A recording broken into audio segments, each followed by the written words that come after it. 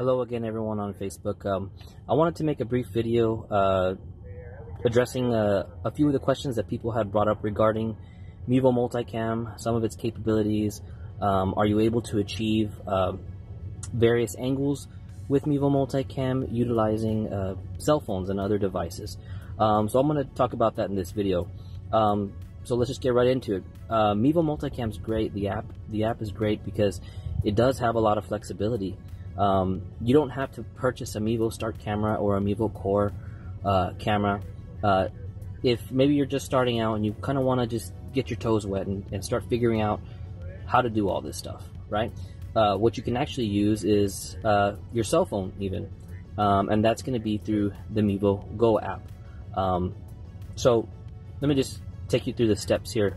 Um, basically, what you're going to want, you're going to want to have a control device in my case, I'm using an iPad here. I have the Mevo Multicam app downloaded on my uh, iPad here. So in the case that you, if you're wanting to use a cell phone to uh, stream your kids' games, or even multiple cell phones to do so, um, you would just uh, go to your cell phone.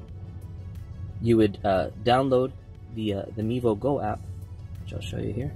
The little icon uh, looks like that. It says Mevo Go. You're going to click on that Alright, it's going to tell you how to show you this prompt here. Select what type of signal you want to send to multicam. You're going to go to video and audio. And you're going to hit continue. Alright. So, um, you're going to have to continue here. And you're going to have to go, well, it already popped up for me here, and you'll see it actually on the, the corner here. Um, let me get a flashlight here so you can kind of see. I'm sorry, I'm in a dark dark area, so it's hard to tell, but um, so here my camera is uh, my iPhone camera is now in the Mevo uh, multicam app.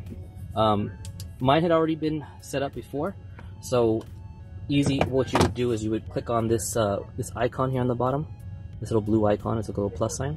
Click on that. You're gonna scroll down to where it says Mevo Go. So the, it says Mevo Go here, one input found.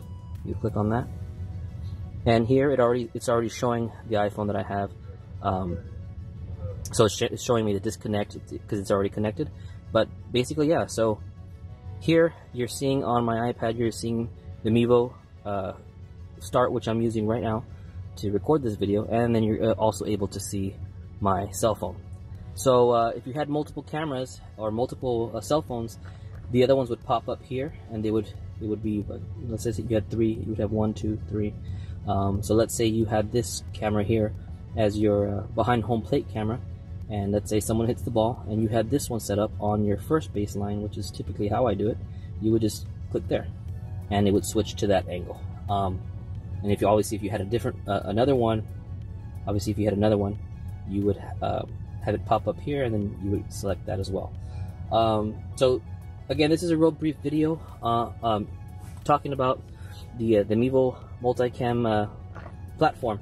It's great. Um, the only thing to know about it is that the devices that you're going to be using to live stream all need to be on the same network.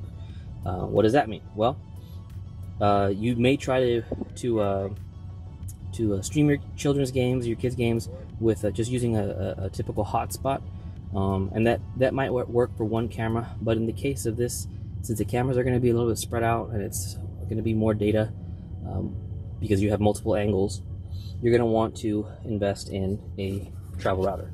So I'm going to show you mine. This is my uh, travel router. This is the Slate AXT 1800 uh, portable travel router. Um, it works great for what it is.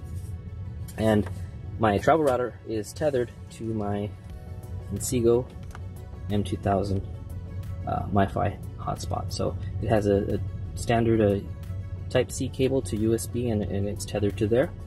And then to power it's to power the uh, the router, it's just a standard uh, power bank. Really, any power bank will do.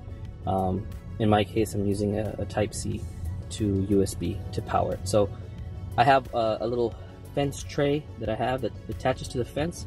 I put my travel router on there, I put my hotspot on there, and I put my power bank on there. And the power bank will run the uh, the, the, travel router like all day, pretty much, like six to eight hours. Um, and it'll also be charging my hotspot at the same time. So that one power bank will, will cover a lot of uh, cover both the router and the uh, router and the hotspot. So, um, so yeah, I just wanted to kind of sh uh, show this video because, like I said, Mevo Multicam is great because it does offer uh, some flexibility there. You don't necessarily have to go out and purchase, uh, you know, three Mevo Start cameras and a core and uh, spend all this money. You can, if you just have any cell phones lying around in your house, you're able to uh, achieve all the angles as well, just using those cell phone cell phones that you have lying around.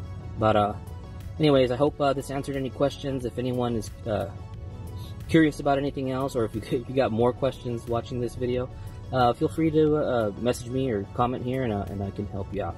All right. Well, thanks for watching, and night.